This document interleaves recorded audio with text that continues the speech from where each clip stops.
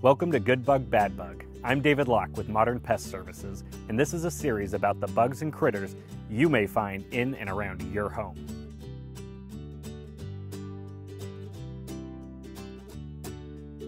Did you know that New England is one of several areas in the country experiencing an alarming increase in bedbug infestations?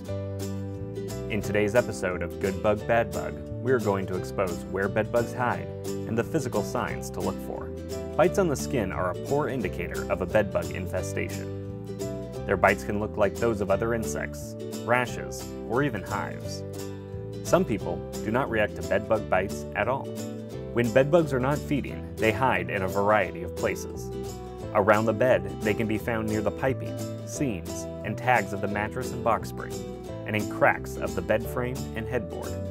However, they can regularly travel much further for a blood meal when populations are high.